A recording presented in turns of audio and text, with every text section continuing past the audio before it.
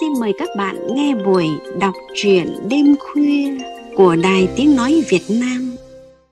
Quý vị và các bạn đừng quên nhấn nút đăng ký kênh để ủng hộ ban biên tập cũng như không bỏ lỡ chuyện ngắn hay nào của Đài Tiếng Nói Việt Nam. Các bạn thân mến, trong hai cuộc kháng chiến chống Pháp, chống Mỹ, giải phóng dân tộc, thống nhất đất nước, lực lượng nữ thanh niên sung phong đóng vai trò rất quan trọng hàng vạn cô gái tràn đầy sức sống hồ hởi lên đường ra trận vì sự nghiệp cao cả của đất nước. Khi chiến tranh kết thúc, đất nước hòa bình, nhiều người mang trên mình di chứng chiến tranh khiến họ khó hòa nhập với cuộc sống đời thường. Đã có không ít những tác phẩm thơ, truyện ngắn, tiểu thuyết viết về hoàn cảnh éo le của người nữ thanh niên sung phong thời hậu chiến nữ thanh niên sung phong vẫn là một đề tài khiến người sáng tác và cả người đọc phải suy tư, chăn trở. Trong chương trình đọc truyện đêm khuya hôm nay, các bạn cùng nghe chuyện ngắn Những giấc mơ có thật của nhà văn Vũ Thị Hồng qua giọng đọc phát thanh viên Vân Anh.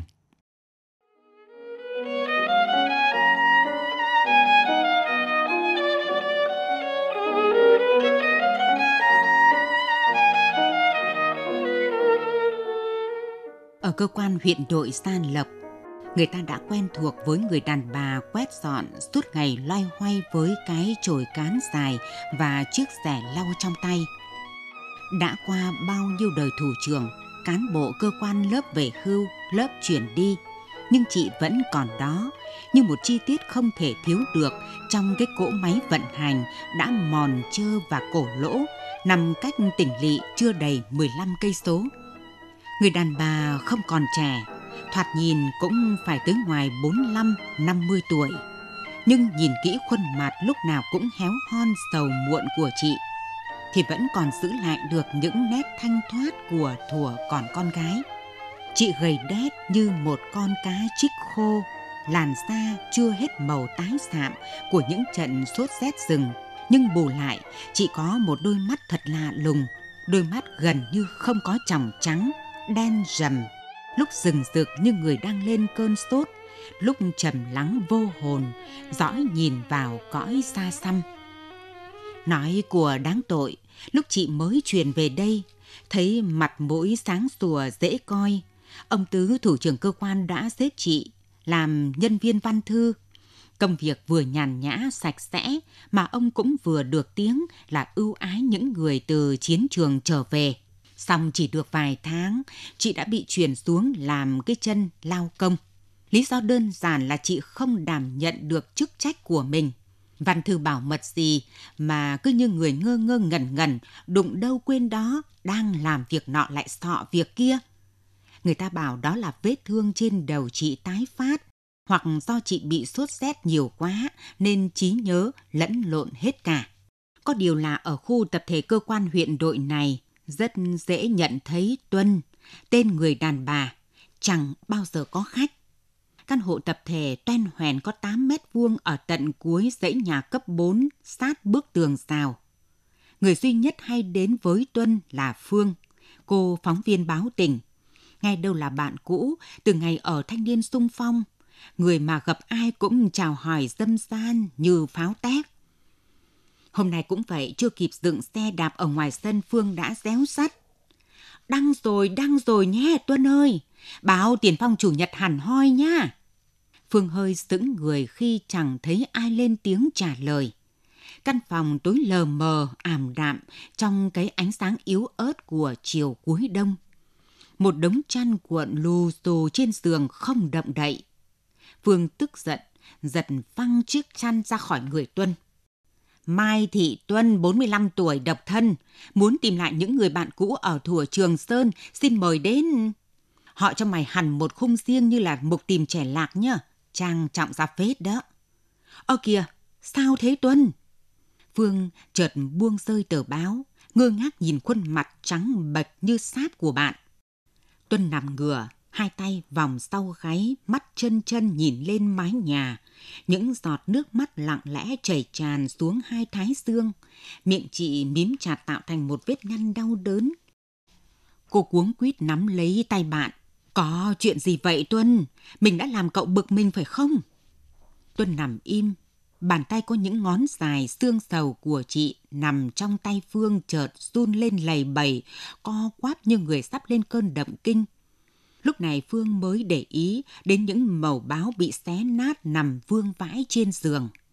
Cô nhặt lên xem và nhận ra đó chính là số báo giống hệt tờ báo cô vừa mang về. Phương khẽ khàng ngồi xuống bên giường, vuốt nhẹ hai bờ vai gầy nhọn của Tuân, giọng cô như vỡ òa ra. Mình xin lỗi cậu. Mình thật vô tâm. Mình chỉ muốn tìm lại người ấy cho cậu thôi. Cô tung tấm chăn đắp lại cho bạn và rúc vào nằm ôm chặt lấy Tuân. Những tiếng hức hức bị ghim nén khiến cho thân hình Tuân càng co rúm lại. Chao ôi, Tuân gầy quá, những đốt xương sống lưng nổi lên lục cục, xương chậu thì nhô lên nhọn hoắt. Còn đâu da thịt mỡ màng tươi thắm của đứa bạn gái một thời đã nổi tiếng là hoa khôi của rừng. Ngày ấy chưa có những cuộc thi lựa chọn người đẹp như bây giờ, chứ giá có thì Tuân ắt phải nhận vương miện hoa hậu cả tài lẫn sắc. Những lúc vui vẻ, cô vẫn gọi Tuân là bà cô muộn chồng. Cô không sao chịu nổi lối sống khắc kỳ tự giam mình trong bốn bức tường của Tuân. Nhưng dù cô có nhiếc móc hay van vỉ như thế nào thì Tuân vẫn cứ trơ lì ra, giả câm giả điếc. Chính Phương đã nảy ra sáng kiến tổ chức một cuộc gặp mặt những người bạn cũ ở trong đội vận tải nữ của các cô ngày xưa.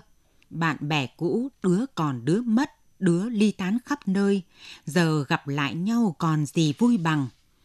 Ngày ấy có bao nhiêu người đã mê tuân, thế nào họ cũng tìm về, biết đâu đấy. Nằm nghỉ chút đi Tuân, để mình pha cho cậu một cốc nước chanh nhá, hay là cậu ăn hồng xiêm xuân đình, rẻ và ngọt lắm. Tuân chợt mở bừng mắt ra, chĩa cái nhìn giận dữ vào Phương. Mày làm thế để làm gì? Thương hại tao hả? Kìa Tuân, cậu làm sao vậy? Phương ngơ ngác nhìn bạn.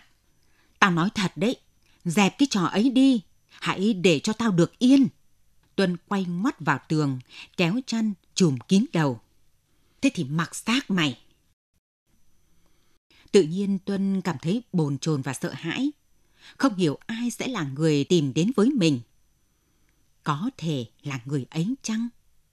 Không, Tuân đã hết hy vọng gặp lại anh ta.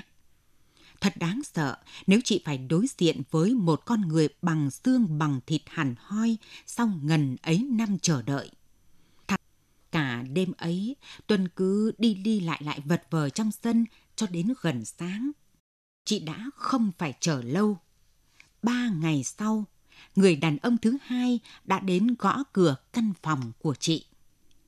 Người đàn ông còn trẻ, có lẽ cũng sắp xỉ tuổi 40.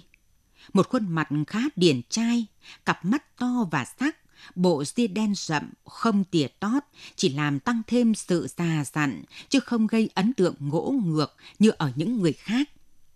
Vừa bước vào cửa, gã trai đã thốt kêu lên. Chị Tuân, chị còn nhớ em không? Tuân đang ngồi nhặt rau muống chuẩn bị làm bữa chiều. Chị vội đứng lên rửa tay, mời khách ra bàn uống nước. Chị vẫn chưa nhận ra người thanh niên này là ai, đã gặp ở đâu đôi mắt gã trai bồn chồn nhìn chị như đang chờ đợi một lời phán quyết. Chị khe khẽ lắc đầu, vẻ thất vọng hiện rõ trên khuôn mặt gã trai. Gã thở dài. Chị quên em thật rồi. Em là Bạo, thằng bé bị sốt rét ác tính nằm cùng lán với chị ở trạm xá dưới chân đèo Ba Cô vào năm 1974 đây mà. Bạo ư, bạo nào nhỉ? Tuân cố lục lọi trong cái mớ hồi ức hỗn độn của chị, nhưng chị không sao tách bạch được ra khuôn mặt nào là của gã trai. Không, chị phải nhớ chứ. Bạo bướng bỉnh nói. Gã rút một mẩu báo nhỏ xíu trong túi áo ngực đưa cho Tuân. Đã bao nhiêu năm nay em đi tìm chị, em đã lần hết tất cả những người có biết đôi chút về chị. Nhưng cứ như chị biến lên mặt trăng rồi ấy. Cách đây mấy hôm, em vô tình đọc được mẩu nhắn tin này trên báo. Trời ơi, em tưởng mình muốn đứng tim. Em nhảy ngay lên xe, từ Đắk Lắc về đây, vừa chọn hai ngày đó. Thế là em đã gặp được chị. Chị chẳng khác xưa là bao. Đừng nói xạo em. Tuân cười. Chị đã trở thành một bà già lầm cầm từ lâu rồi. Em xem này, da chị đã nhăn, tóc đã bạc gần hết. Gặp chị ngoài đường, chắc là em sẽ phải bỏ chạy đó. Không, chị đừng nói thế. Gã trai vụt nhào tới sụp xuống trước mặt chị, mắt gã long lanh nước. Chị ơi, hãy nhớ lại những ngày chị em mình ở trạm xá dưới chân đèo Ba Cô đi chị. Lúc ấy em còn là một thằng lính mới 17 tuổi, đang trên đường hành quân vào Nam. Qua cung đoạn của các chị thì em lên cơn sốt ác tính. Sốt cao quá em bị rối loạn thần kinh, suốt ngày la hét, có lúc còn cởi hết quần áo, bôi chát bùn đầy mình rồi chạy vào rừng. Chị cũng đang sốt mê man trên võng, thế mà giữa hai cơn sốt, chị còn cố lê vào rừng tìm em, dỗ dành đưa em về. Chị đưa em ra suối, gội đầu giặt rũ, may vá quần áo cho em, chăm sóc em hơn cả chị em gái ở nhà. Không có chị thì em đã xanh cỏ từ lâu rồi. Thế mà chị lại nỡ quên em, nỡ quên thằng bạo của chị ư. Phải, chị đã nhớ ra cái trạm xá, loe hoe, vài cái lán bệnh nhân nằm dưới chân đèo ba cô rồi. Ở đó cách xa con đường trục, nhưng vẫn nghe rõ mồn một tiếng mìn phá đường, tiếng phản lực rít xé trên đầu và những chùm bom rơi rất chính xác phía con ngầm dưới chân đèo. Thương binh bệnh binh đông nằm xếp lớp trong những căn lán chật trội. Người ta xếp cạnh võng chị một cậu tân binh đang lên cơn sốt rét ác tính. Nhiều lúc chị phải bấu vào người cậu ta thật mạnh để xem cậu ta có còn sống hay không. Cơn sốt ác tính đã biến cậu ta thành một con bệnh tâm thần.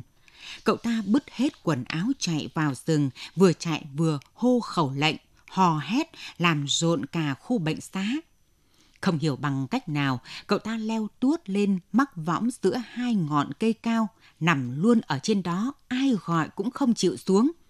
Mới hai ba giờ sáng, cậu ta đã xả tiếng gà gáy đánh thức cả bệnh xá dậy. Bác sĩ hộ lý thay nhau đến, hết dọa dẫm lại dỗ dành, cậu ta cũng chẳng thèm nghe, lại còn bứt quả cây ném xuống. Thế mà chỉ riêng Tuân dỗ được Bạo xuống, lại còn ngoan ngoãn theo chị ra suối tắm rửa. Bạo mới qua cái tuổi học trò, má còn phính lông tơ, đôi mắt có hàng mi dày đen cong vút như mắt con gái, khiến chị thương đến thắt lòng. Đến bữa, chị bón từng thìa cháo cho Bảo ăn. Bảo ăn rất ngoan, chị nói gì cũng chỉ gật đầu cười lòn lèn. Đêm nào, hai chị em cũng rủ gì nói chuyện đến tận khuya đang sức trai lại được Tuân hết lòng chăm sóc, có cân đường hộp sữa nào chị em binh trạm gửi cho, chị đều dành cho, nên Bảo phục hồi rất nhanh.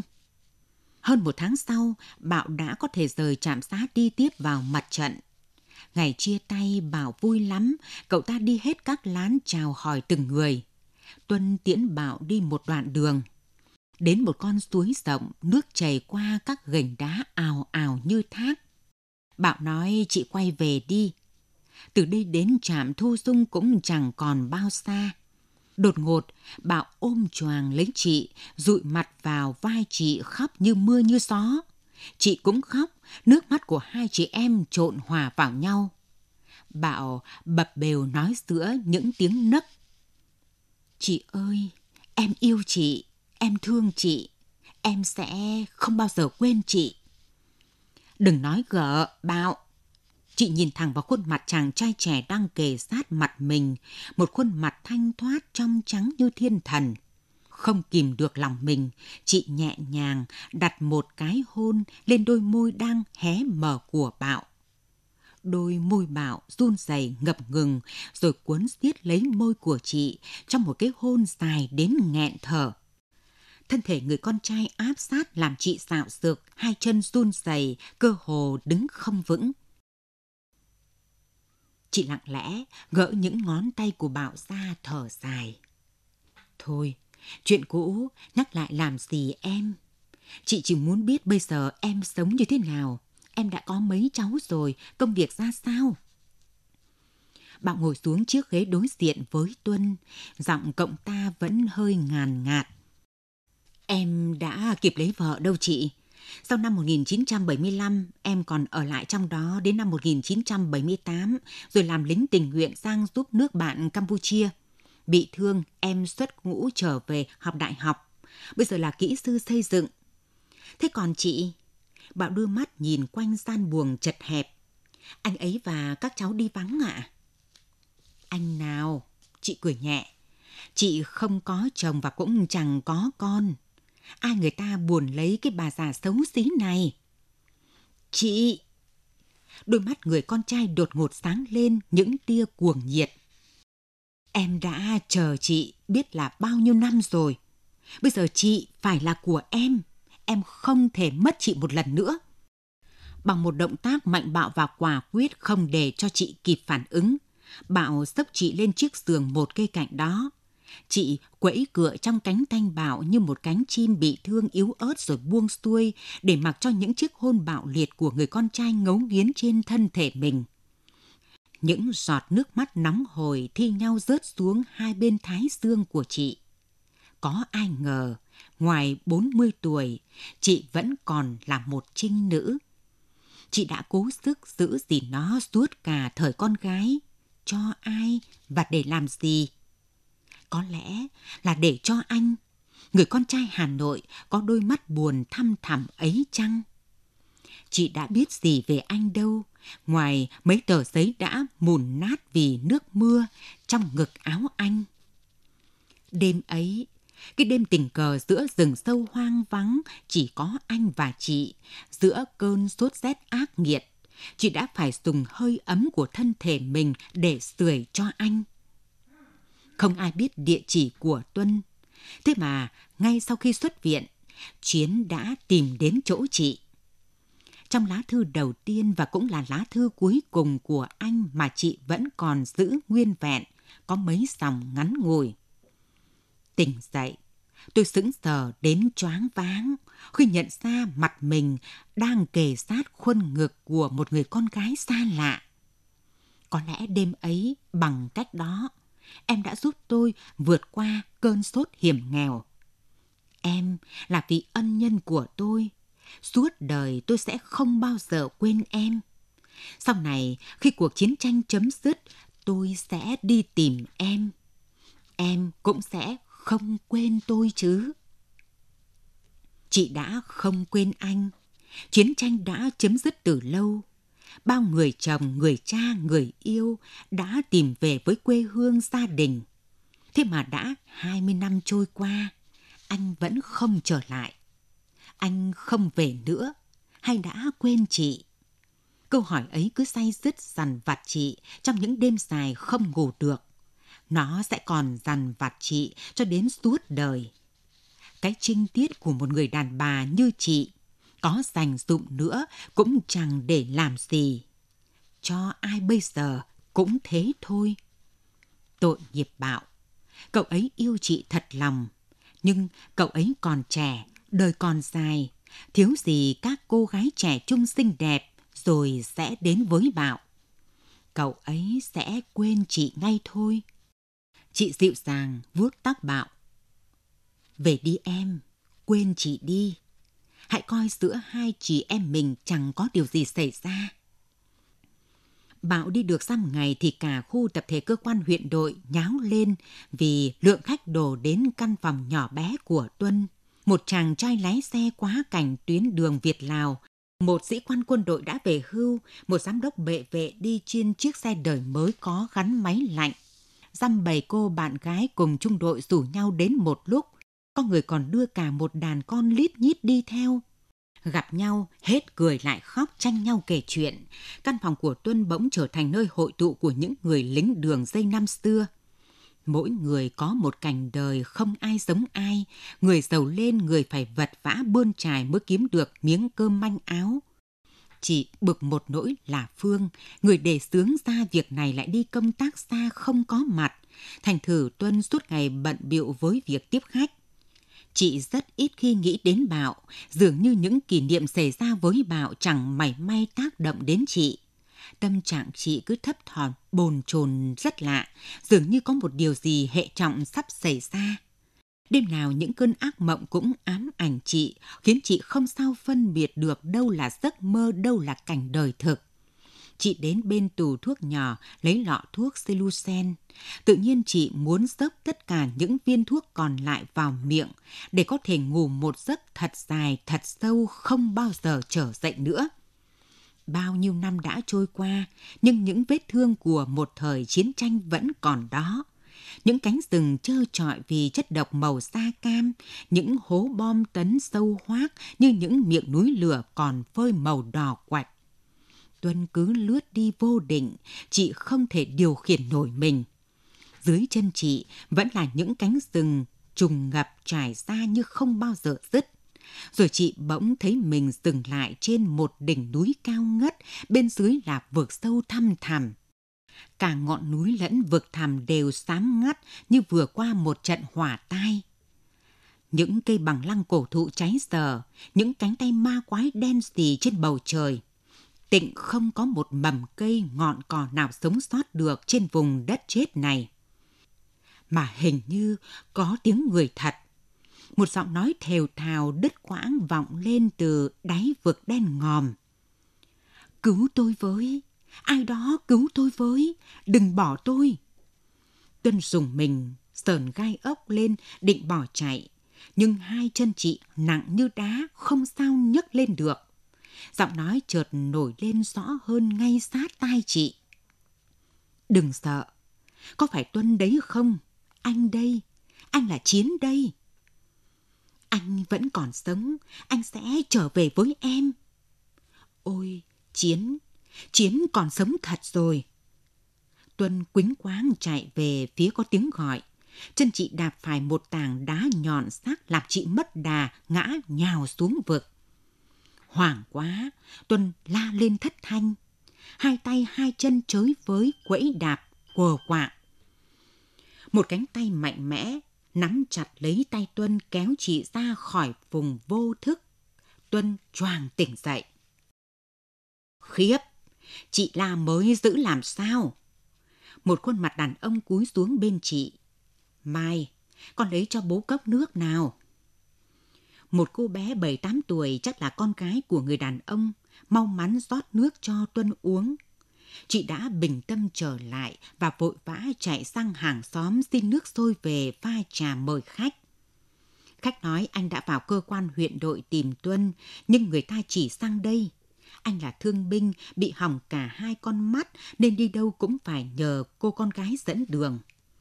Cả người thương binh này nữa Tuân cũng không nhớ ra chị đã gặp anh ở đâu vào thời gian nào. Người thương binh cầm chén trà Tuân đưa ấp mãi trong hai bàn tay không uống. Đôi mắt của anh giờ chỉ còn lại hai hốc rúm xó nhìn thẳng vào mặt Tuân như cố nhận diện người đang đối thoại với mình. Chị không biết tôi đâu, chị Tuân ạ. À. Cả tôi cũng chưa gặp chị một lần nào. Tôi ở cánh trong, giáp mạn biên giới Việt-Lào. Chúng tôi không có cái may mắn được vào giải phóng Sài Gòn. Trước đó tôi đã bị thương nặng ở Đắc Pét. Người ta chuyển tôi đi hết bệnh xá này đến bệnh xá khác trước khi trở về trạm thu dung ở Nghĩa Đàn. Tôi đã tàn tật, tôi không dám báo tin về nhà, chỉ sợ làm khổ người vợ còn rất trẻ. Thôi thì đành sống lay lắt ở trạm điều dưỡng cho đến hết đời ấy vậy mà không hiểu sao vợ tôi lại biết mà lặn lội vào tận trại điều dưỡng tìm tôi. Nhờ thế mà tôi có được đứa con gái này đấy. Tuân kiên nhẫn ngồi nghe câu chuyện dài dòng chẳng ăn nhập vào nhau của người thương binh. Tự nhiên chị có một linh cảm rất lạ.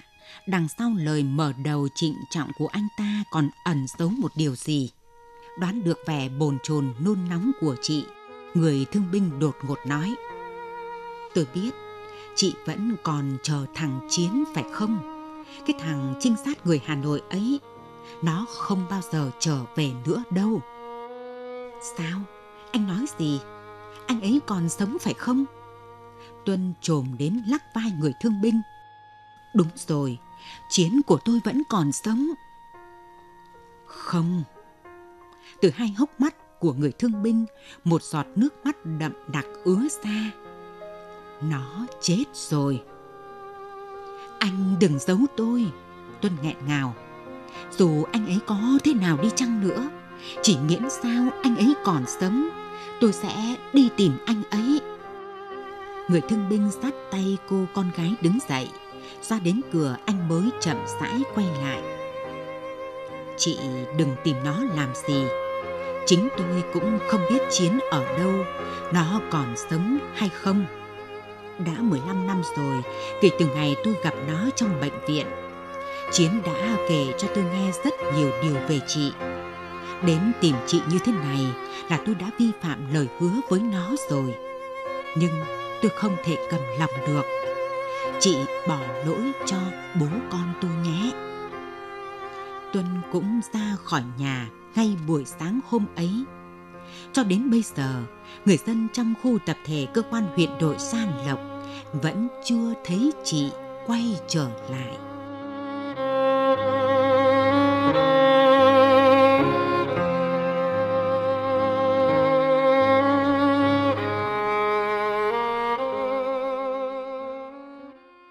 Các bạn vừa nghe chuyện ngắn Những giấc mơ có thật của tác giả Vũ Thị Hồng. Một câu chuyện buồn về số phận, cuộc đời éo le của nữ thanh niên sung phong tên là Tuân. Bây giờ, mời các bạn cùng nghe đôi điều cảm nhận của biên tập viên Hoàng Hiệp về chuyện ngắn này. Các bạn thân mến, Trầm buồn thể hiện cuộc sống buồn tẻ, không tương lai của Tuân, một nữ thanh niên sung phong. Như hàng vạn nữ thanh niên sung phong khác, Tuân đã gửi tuổi thanh xuân tươi đẹp của mình trong những năm tháng chiến đấu tại chiến trường Trường Sơn. Giờ đây, khi trở về cuộc sống đời thường, Tuân lạc lõng với mọi thứ xung quanh. Những chấn thương về mặt tâm lý khiến nhân vật trong câu chuyện sống nửa tỉnh nửa mê. Những lát cắt thời gian đan xen giữa hiện tại và quá khứ cũng là lúc tỉnh lúc mê bất thường của Tuân. Với nhiều người lính, khoảng cách thời gian và chục năm chiến tranh kết thúc dường như không tồn tại. Với Tuân và nhiều người lính khác, hình ảnh của đồng đội, của những người thương vẫn như là mới hôm qua, tuần trước.